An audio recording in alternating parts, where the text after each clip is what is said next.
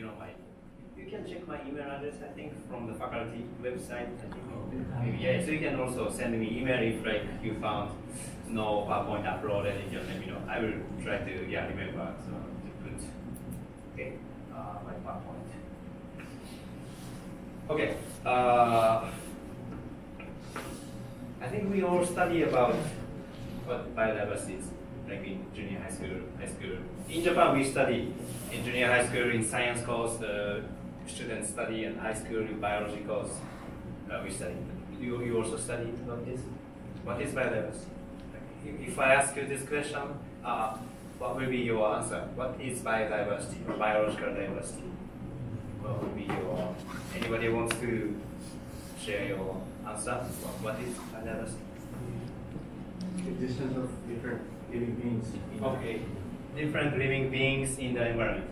Uh, when you say different living beings, Animals and plants. animals and plants. Okay, okay, sounds good, sounds good. Yeah. Any anything else? Something like that? Different kind of animals, plants.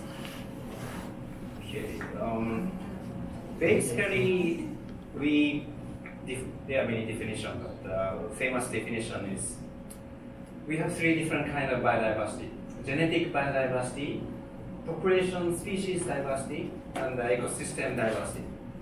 We also say landscape diversity. Uh, the one you just answered is more like uh, species diversity. Uh, we have different animals, plants, different species, uh, like lion, tigers, those are different species, that's biodiversity. But also, we have different ecosystem. Here in Ibaraki City, we have mountain, forest, river, uh, many different things. Uh, those are different landscape. We also uh, think that is also biodiversity. Also, uh, we uh, the reason why we all look different, although we are same species, Homo sapiens, is because of genetic difference among individuals. So three different kind of biodiversity. Or we can just say sum total of living all living things, and it shows how rich our living world is. Uh, what is this? Wolf? Yeah, are they all wolf? Wolf. Yeah, yes. Okay. We have black one and the gray one. They are all they are all the same species. Good.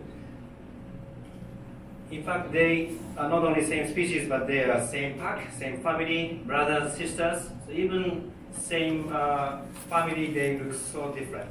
Sometimes they look black, and this is because, as I said, uh, of uh, genetic difference. Do you know this species? We have this uh, looks like wolf, but a little bit smaller than uh, wolf. Fox. Ah, I see. Uh, in not actually, this is coyote, and then we have fox. Yeah, yeah, fox is more, much much smaller, and uh, yeah, orange, and uh, it is easy for us to distinguish difference between wolf and uh, fox, but not wolf and coyote. Even experts uh, it is difficult to distinguish difference between coyote and wolf just from appearance. Uh, but they are different species. Uh, it, any uh, guess or any answer about how, how do we differentiate species? But how do we uh, understand that these are different species? Classification.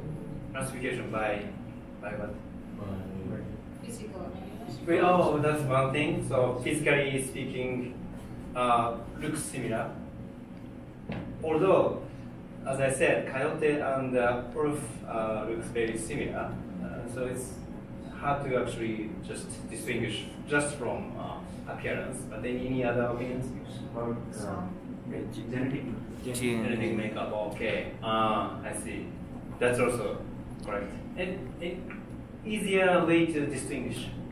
place. Sounds. Sun. eh? Four. Sounds. Sounds, yeah. Sound. Sound. Sound. Place. How is sound? How is sound? How is sound? Place. Place. How to speak? Ah, I see.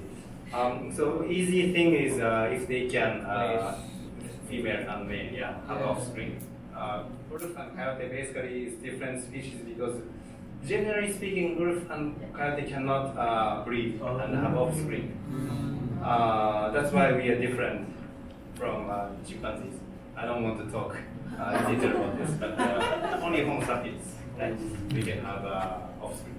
So uh, that's also another difference. But the difficult thing about science is uh, sometimes something happens we don't expect. Uh, wolf and coyotes sometimes